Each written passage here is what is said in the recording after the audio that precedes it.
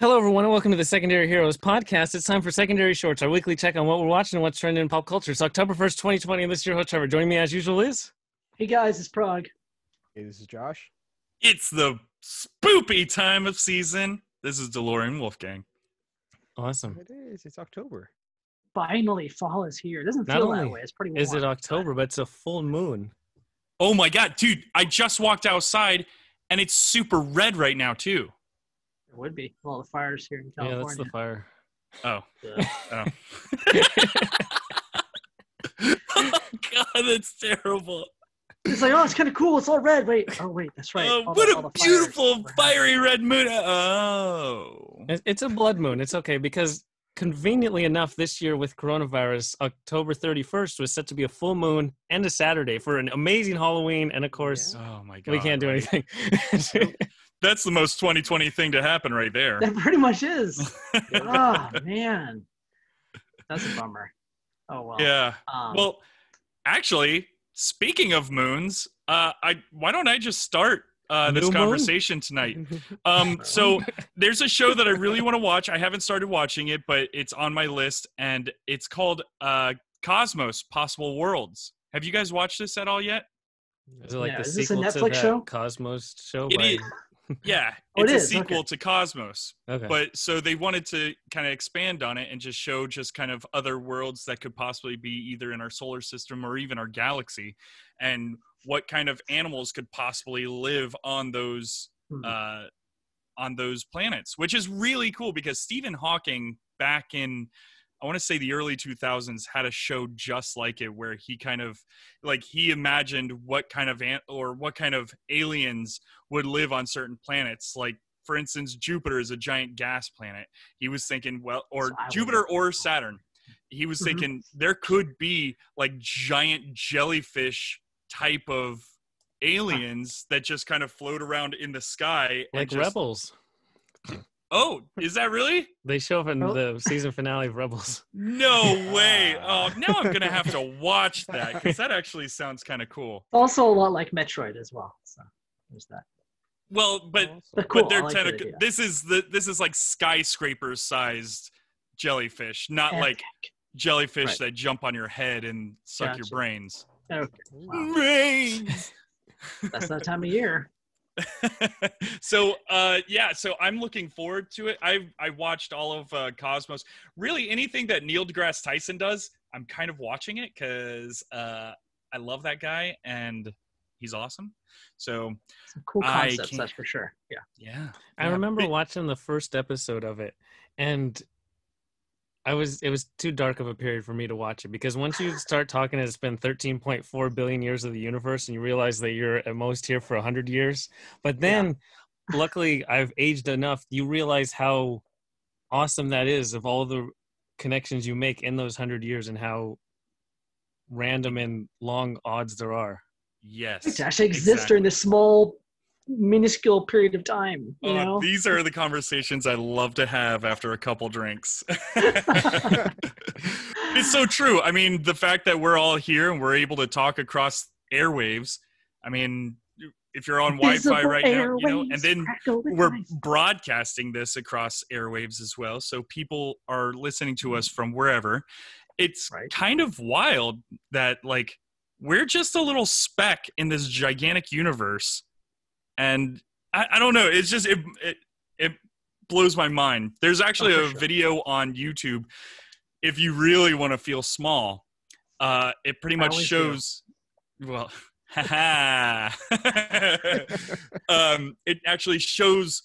Uh, oh God, what is it? Uh, what happens after we're all dead and gone? What's happening to the universe? And I mean, it's Wow. just going to turn into one gigantic black hole, and that's pretty much what's. And who knows? Maybe it'll implode on itself and turn into another big bang. But this is this is trillions upon quadrillions of billions of mile or miles uh years away but man it makes you feel tiny it really does but i love this stuff and i love talking about it so Well, that's anyways. like those fun videos where it starts out with the planet Earth, and then it shows you the scale of all our planets, Yeah. then the suns, and then those suns, and then we're in the little Yep. part of the ex- branch of Milky Way, and that's just one galaxy. And we zoom out of the- all the billions of galaxies. It's fun. Well, and there's a really cool video too of a because right now scientists have learned that there's another galaxy heading our way. We'll never see it in our lifetime, and our grandkids and great grandkids will never see it in their Not with timeline. that attitude. I know. Come on. You never know. They might develop technology to keep them alive. Trevor.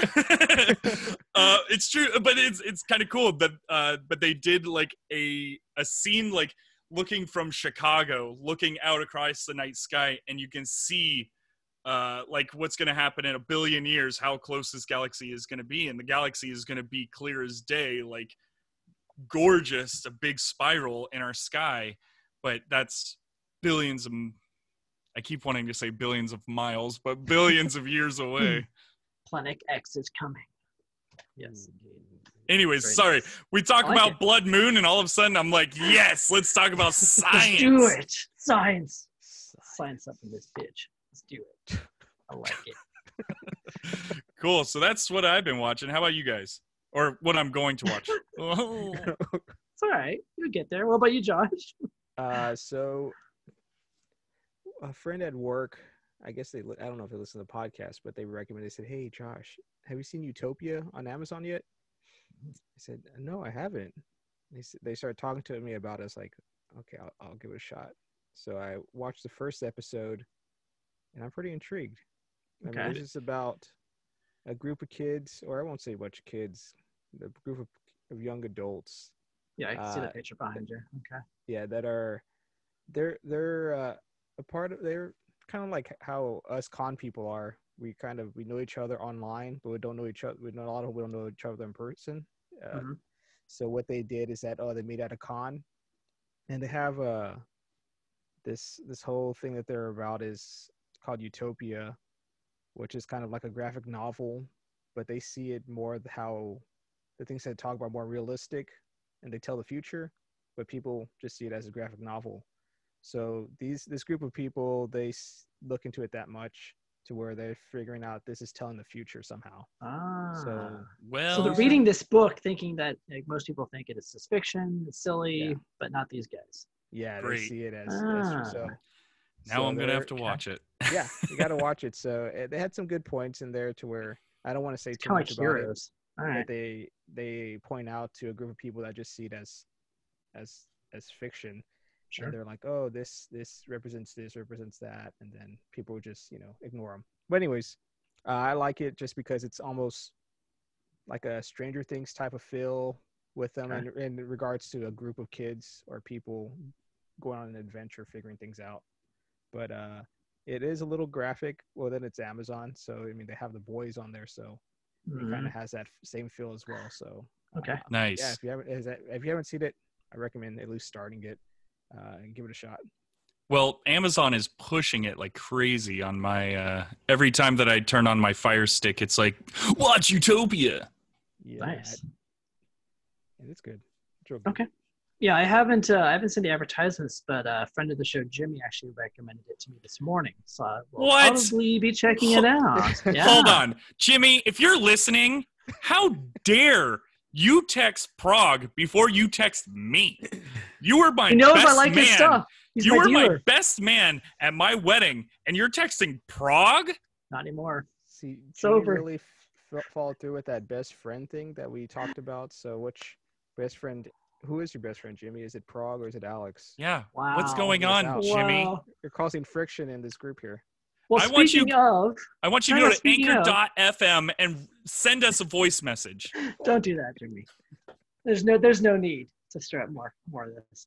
Um, but based on another one of his recommendations, I did I did dig into another show um, that was like a web series called The Booth at the End, which is the picture behind me here.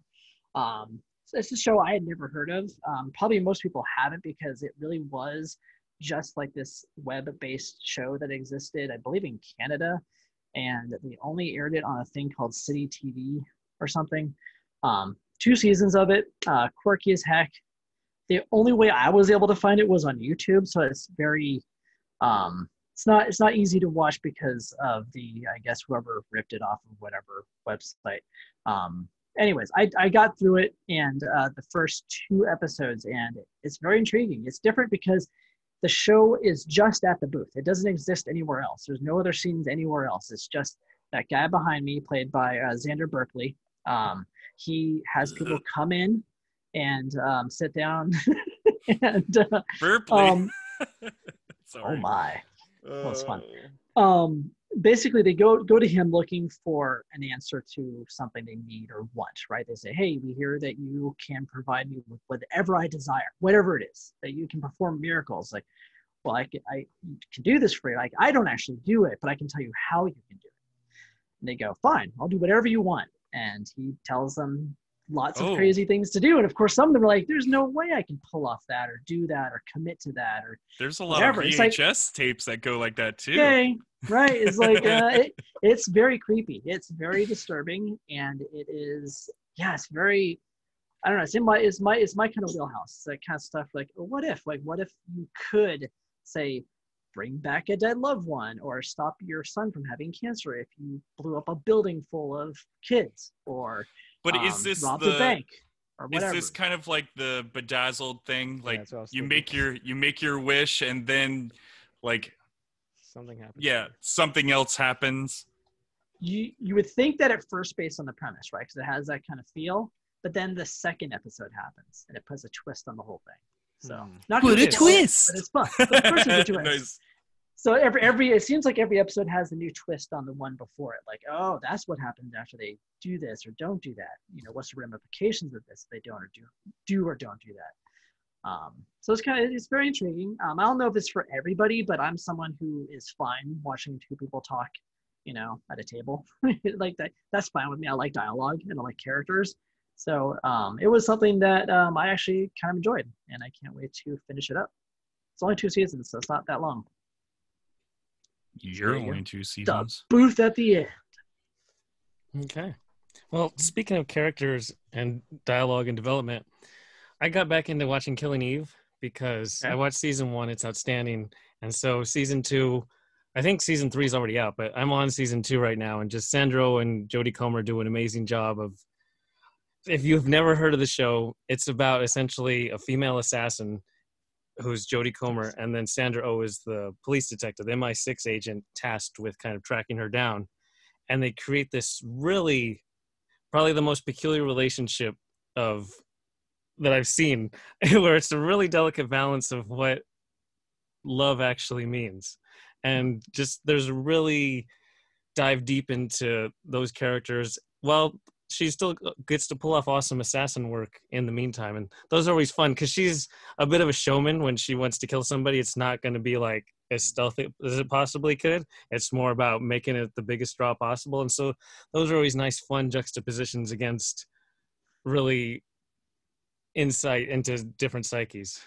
You gotta Very get nice. that kill of the week. Kill of the week.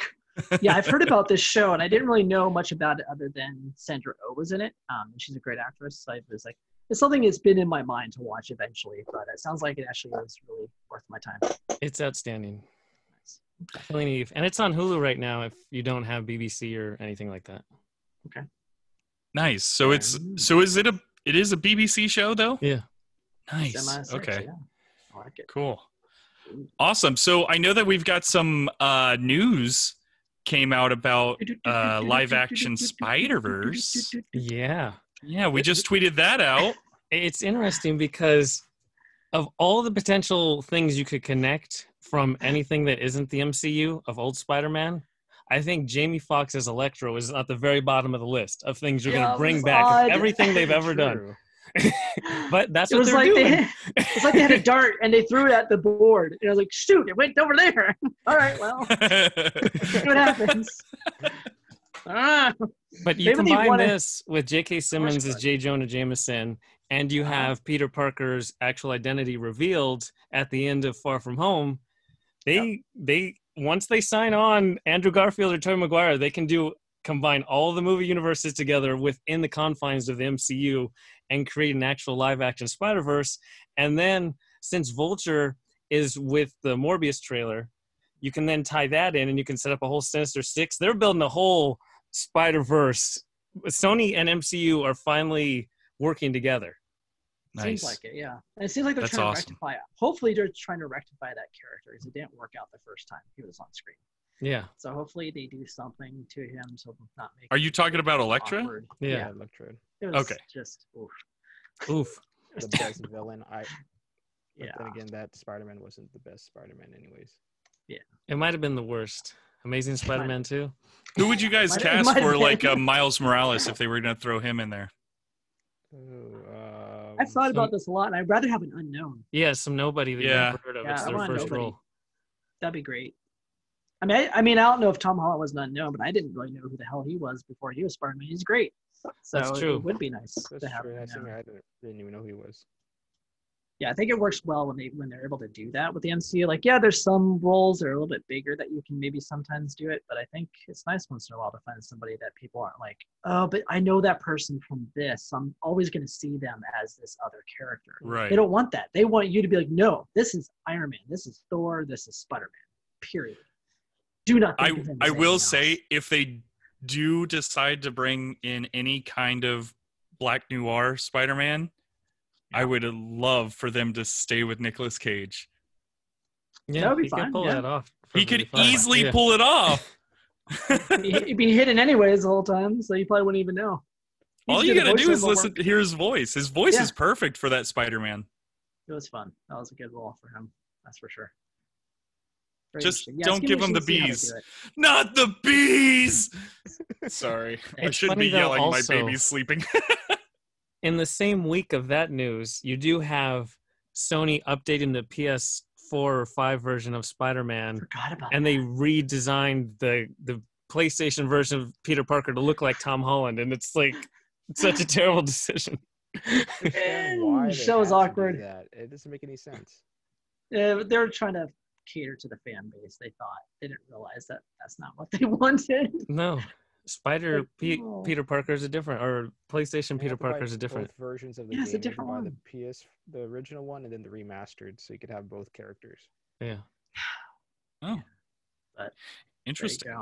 Yeah. But since you did mention kind of first time actors appearing in the MCU, there's a new uh, Miss Marvel show coming to Disney Plus, and they finally cast Kamala Khan. She's going to be, her name is Iman Vellani, and this is her first role, and she's just going to, I mean, this is a big deal to cast people who are actually based on who the character is rather than you know whitewashing of hollywood and stuff so this is great casting by disney disney's doing a really good job lately of that and to tie that further out into the MCU to show representation of everybody can be superheroes.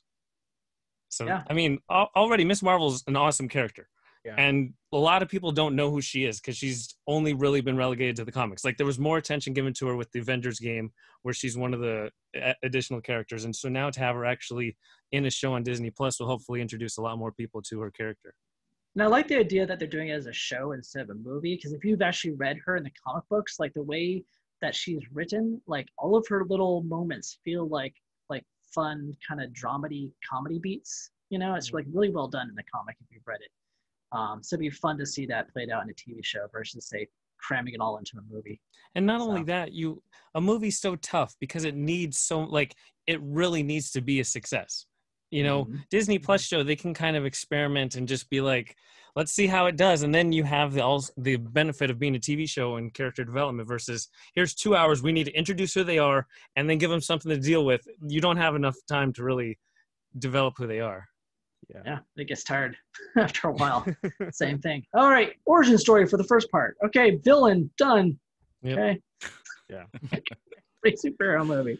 So yeah, I'm excited. Some decent news, interesting and fun news this week in the MCU. Yeah, for real. I dig it. Well, at that, I should probably do a podcast of the week. Ooh, and who's gonna be- because we are looking at October of spoopy time, my podcast is called Haunted Places. Uh, Haunted Places. It's the it's hosted by a guy named Greg Polcyn, and this guy's voice is spot on for radio. Like when you listen to him, wow! Like you're you're put in the scene. It's pretty wild. So what they do is they actually they take old stories that they've kind of heard like through you know old ghost stories and stuff of haunted places around the US and around the world. And then they'll kind of like create a story around that to kind of give it more life. And they add a lot of sound effects. It's pretty wild man. It's really good. And it's crazy like there's some stories that like have stuck with me now. And there's a lot of places that actually I want to go visit now because of this so check out haunted places it's it's a lot of fun Awesome. And be sure to follow all of our buddies, all of our podcast friends like Geek Together and the Four Dorksmen and the Average Nerd Podcast and Talking Pops and Nerdy Curious and all our fun friends that hopefully you've seen us w- interact with them at our various virtual cons. And then, whatever your favorite social media platform is, follow at Secondary Heroes. Find out when our new That's right. podcasts drop, our fun news throughout the week. And to everyone listening, we hope you enjoyed and we'll talk to you next time. Frog out. See ya. it's DeLorean Wolfgang roll out